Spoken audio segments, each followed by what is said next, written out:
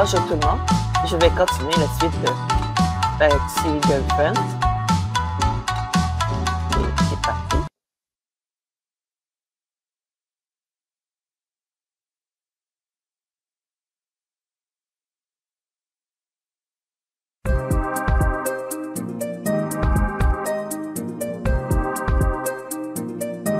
Il pleut toujours quand on arrive à l'appartement des filles. Tout le monde est là, y compris Ria, Euro. Beaucoup repose au lit et est capable de parler. Ça va aller pour elle? Elle est en état de choc, mais on dirait qu'elle va se remettre. Le temps s'est mis à pleuvoir subitement quand elle est Coco est l'une des quelques renards qui étudie la manipulation du temps, mais elle doit encore apprendre à maîtriser. Daikoro semble préoccupé. Les rides sur son visage sont de plus en plus profondes et visibles. J'ai fouillé ici et là, malheureusement, la nouvelle est vraie. Le gouvernement local veut effectivement construire un barrage pour répondre aux besoins des humains. Une très grande partie de la forêt d'Aoshima va être affectée. Plusieurs des de terrain sont déjà produits. Le village des renards par chance demeure intact. Mais pour combien de temps? Combien de temps avant que la construction du barrage ne détruise notre foyer? Nous devons arrêter ça. Exactement. Les humains ont besoin qu'on leur donne une leçon. Pas exactement comme ça. Donnez-leur l'ancien et le sac coulera. Attends, attends, attends. Tu proposes qu'on déclare une guerre? Uniquement si l'ancien est d'accord. Tu es diabolique. Et tu es soumise. La tension monte dans la pièce. Dois-je quelque chose avant qu'elle ne se commence à se battre?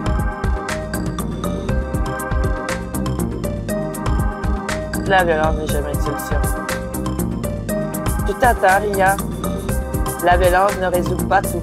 Ça ne fait qu'empirer les choses. Facile à dire car on est une espèce de pas celle de, de, est menacée. Hein, c'est vrai. C'est tout facile quand une espèce de c'est pas menacée. Écoute, je ferai ce que je peux pour être utile. Mais il y a bien une meilleure façon de résoudre le problème et tu sais. Théa le regard. Maria ouvre la bouche parler, mais elle décide rapidement de ne pas le faire. Assez de bavardage. Nous faisons face à des gens puissants. Nous devons agir avec prudence. J'ai essayé de contacter les renards de l'autre côté de la grotte, mais en vain. J'essaierai à nouveau ce soir. Pour le moment, attendez mes instructions. Takuro s'en va. Mayuke Ria se rue dans la. Se rue dans des pièces séparées, me laissant seule avec Tsukiko. Un silence gênant s'installe dans la pièce. Viens, je te raccompagne chez toi.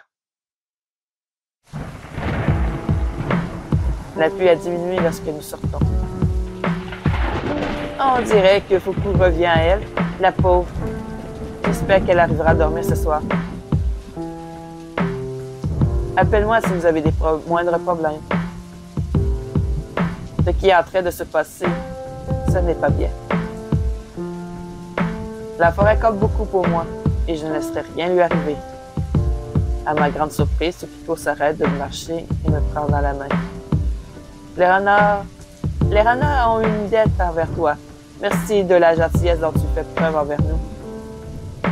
Non, vous, vous ne devez rien. Je fais ça parce que c'est la bonne chose à faire. Les gouttes de pluie sont petites et presque invisibles.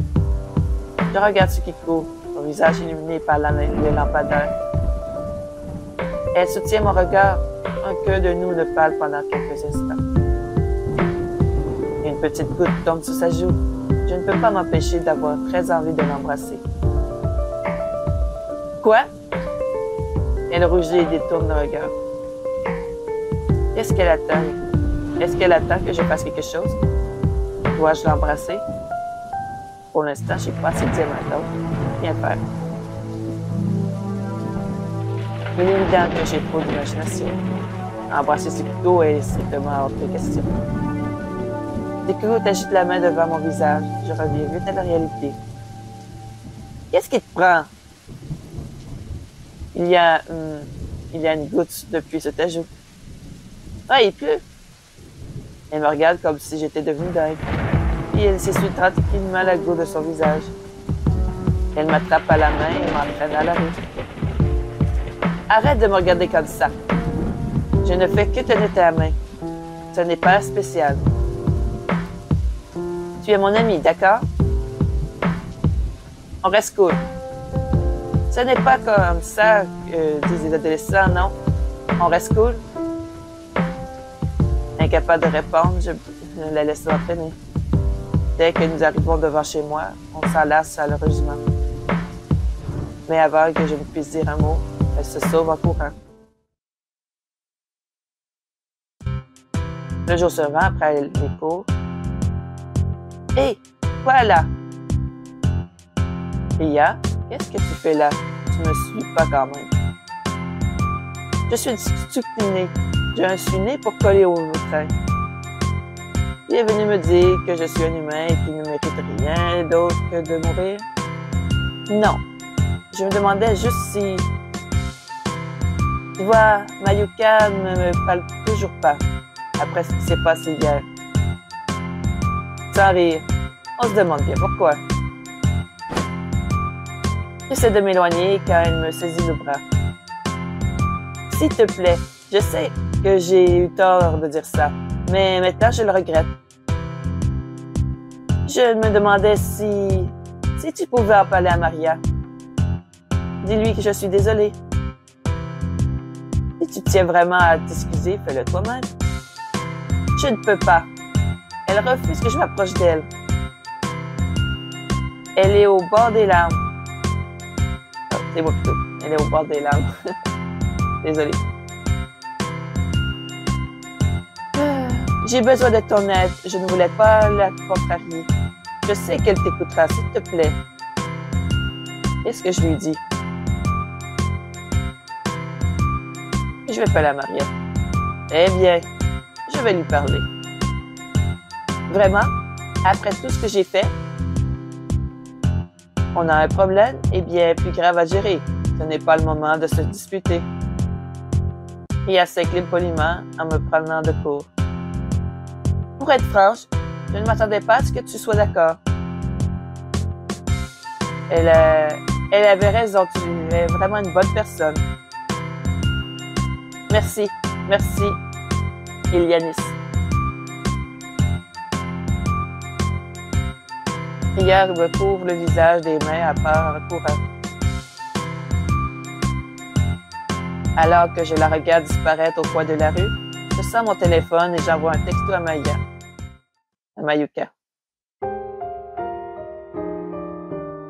Je me dirige directement vers l'appartement des filles. Hey, oh, il y a quelqu'un? Je trouve Mayuka installée à la table.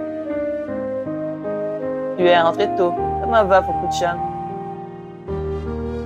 Toujours dans la chambre en train de dormir. Elle ne se réveille, elle ne la réveille pas encore. Elle se retourne vers moi. Ses yeux sont concentrés sur la table. Qu'est-ce que tu fais? Je m'entraîne. Tu vois ces fourmis sur la table? J'essaie de les contrôler. Oh, je ne contrôle les esprits le contrôle de l'esprit par magie? Ce n'est pas du contrôle de l'esprit et ce n'est pas de la magie. Je dois faire juste attendre autre chose. Je pose mon sac et je m'assois près d'elle. Ce sont les renards les plus vieux qui ont le contrôle de, pouvoir contrôler les esprits. Tu veux apprendre? Peut-être qu'un jour c'est utile pendant une bataille du moment que tu me le fais pas à moi. Je ne le ferai jamais. Et puis, plus d'une personne est intelligente, plus c'est difficile. Ici, on dirait que les fourmis exécutent une espèce de danse étrange? Comment fais-tu ça? Je leur mets de la musique dans la tête. Je ne peux pas m'empêcher de m'imaginer à leur place. Je crois qu'elles en ont assez. Pourquoi? Elles ne font que danser. Mais elles n'ont pas envie de danser. Elles veulent seulement travailler pour leur reine. Il a le visage d'un enfant gronde. Très bien, je les laisse. Et les fourmis redeviennent normales. Elles marchent en sec comme si elles cherchaient à comprendre ce qui s'est passé. Désolé, mes petits. Ça n'arrivera plus. Mon cerveau me démangeait, c'est tout. Elle te démangeait? Ouais. J'avais l'habitude de m'entraîner avec des papillons dans notre village. Quand nous sommes entrés à l'école aujourd'hui, j'ai trouvé ces fourmis. Tu as toujours envie de t'entraîner? En réfléchissant, j'espère que ça n'affectera pas accidentellement. Je fais de mon mieux pour me contrôler. Elle m'adresse un sourire moqueur. De toute façon, pourquoi voudrais-tu qu'on se voit? Quelque chose ne va pas? Je lui parle de ma rencontre avec Ria. Alors, elle veut faire un monde honorable? Elle voudrait s'excuser elle-même, mais elle dit que tu l'évitais. Ouais, c'est vrai. Je ne suis pas sûre de pouvoir lui pardonner pour le moment. Pourquoi pas? Je ne veux pas m'en mêler, mais je crois que c'est important que vous parliez. J'attends la détermination dans ta voix. Tu veux vraiment réparer notre relation, pas vrai? Pourquoi tu t'intéresses tellement à nous? Je veux que tu parles à Ria parce que... Quelle raison lui donner?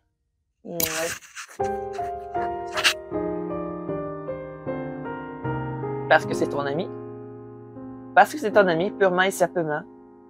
Vous vous connaissez depuis longtemps. Je n'aime pas voir des amis se disputer. Je comprends ce que tu veux dire.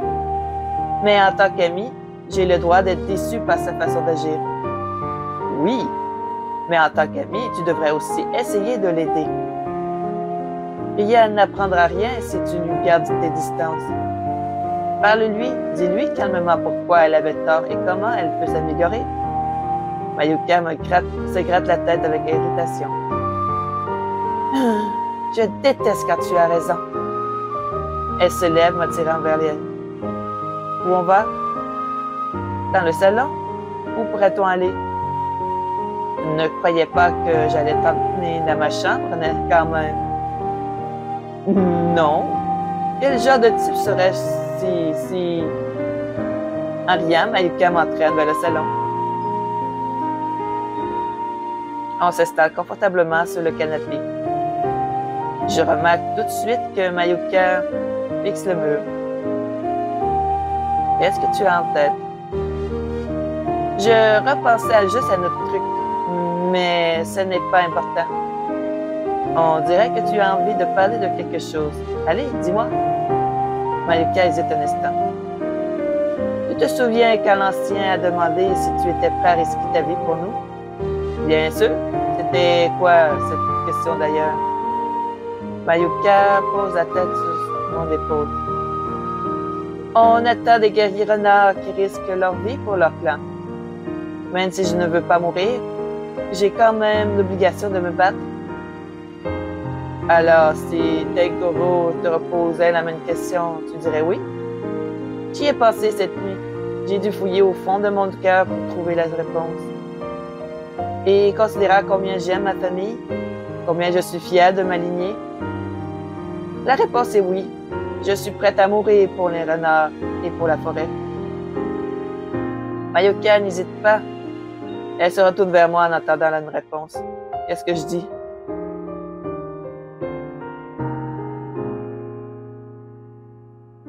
Celui-là. Si tu meurs, au moins, ce sera pour une noble cause.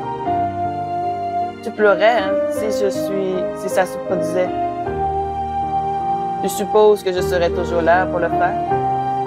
Mais disons que je meurs en te sauvant la vie. Tu pleurais? Je pleurais jusqu'à en avoir les yeux qui saignent. Ah, c'est si gentil. Triste, mais gentil quand même. Mon sourire disparaît rapidement de mon visage. Notre conversation est devenue plus sombre. Je me détourne pour que Mayuka ne remarque pas les, que mes lèvres tremblent. Ton cœur, il bat tellement vite. Les renards ont lui aussi vite que ça. Pas. Arrête de regarder le, arrête de changer de sujet. Dis-moi ce qui te préoccupe. Rien.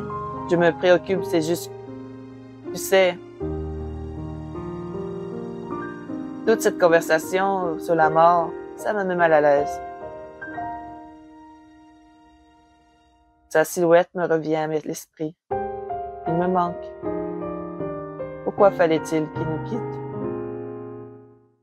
T'entends peut-être que ma tristesse T'entends peut-être ma tristesse, se rapproche de moi.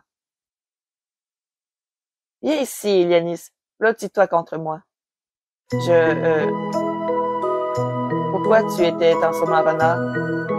Parce que c'est la saison de la chasse, alors je suis venu la t'attraper. wow! C'est une phrase de drague. C'est une phrase de drague? C'est quoi ça? Euh, laisse tomber. Tu n'as pas besoin de savoir. Un genre de flotte, on va dire. Les oreilles de Mayuka se redressent. Du flotte, tu dis? Dis-moi plus. Dis-moi des répliques de drague. Flotte, flotte, disons. Elle me sourit sa queue s'agite. Comme elle sait que je... que ce que flotter veut dire. J'aimerais, mais je j'en en connais pas beaucoup. Alors, dis-moi celle que tu connais. J'essaierai d'en trouver d'autres, moi aussi. Allez, Yanis, c'est amusant. Qu'est-ce que je fais? Dire non parce que j'ai pas Peut-être la prochaine fois. D'accord? Je lirai des phrases ailleurs. Je ne veux pas te décevoir avec mes trucs de ringard. Tu as peur? Pas vrai? Moi? Peur? ose supposer que moi, il y a des peur. Ouais, parce que tu es une poule mouillée. Elle se penche et crie comme un poulet. Je ne suis pas une poule mouillée. Hé, arrête! Mayuka commence à me chatouiller les côtes. Je suis immédiatement prise comme un fourré. arrête, s'il te plaît. Je ne peux plus, je ne peux jouer à ça aussi. Je fais la même chose à Marika. Elle s'est tortue alors que je cherche à me revenger. Ah, ici! Nourrir se remplit ce salon. Nous continuons jusqu'à ce que...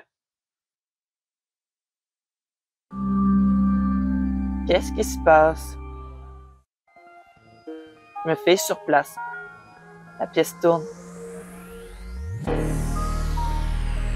Je me retrouve dans la forêt.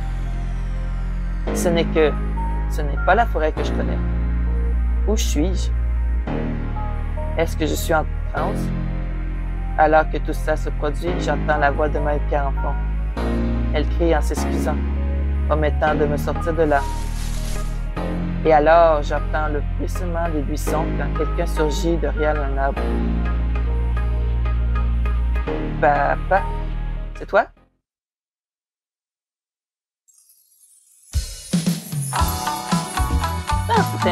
ça commence à devenir intéressant. Passez tous une bonne journée, une bonne soirée. À la prochaine. Bye bye.